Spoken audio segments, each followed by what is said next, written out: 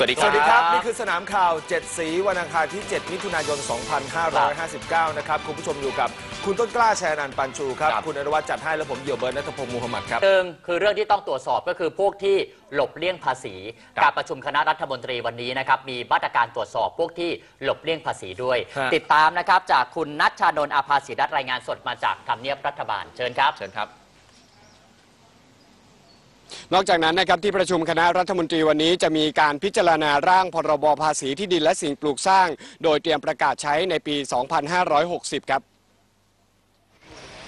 เรื่องนี้เป็นการเปิดเผยของปลัดกระทรวงการคลังนะครับว่าร่างพรบการจัดเก็บภาษีที่ดินและสิ่งปลูกสร้างดังกล่าวนี้ มีความพร้อมในการเสนอที่ประชุมในวันนี้นะครับหลังจากมีการร่างกฎหมายประกอบเพิ่มเป็นที่เรียบร้อยแล้ว โดยหลักเกณฑ์ของการจัดเก็บภาษีที่ดินและสิ่งปลูกสร้างนี้แบ่งออกเป็นประเภท อาทิที่ดินที่ไม่ได้ใช้ประโยชน์ จะถูกจัดเก็บในปีที่ 3 และปีทีสี่4 นะครับ พื้นที่การเกษตรจะถูกจัดเก็บไม่เกินร้อยละ 0.2 ส่วนอาคารพาณิชย์โรงงานอุตสาหกรรม จัดเก็บอัตราสูงสุดที่ร้อยละ2นะครับ และที่สำคัญที่สุดก็คือบ้านหลังแรกที่มีมูลค่าไม่เกิน 50 ล้านบาท จะไม่เสียภาษีขอบคุณมากยังจะออกเทปอีกเหรอครับคุณเอ อะเดี๋ยวให้พี่เอร้องปิดท้ายหมดเวลาแล้วสนามข่าวเจ็ดสีลาไปก่อนนะครับ ครับสวัสดีครับสวัสดีครับ ไปอีกรอบหนึงไปอีกรอบ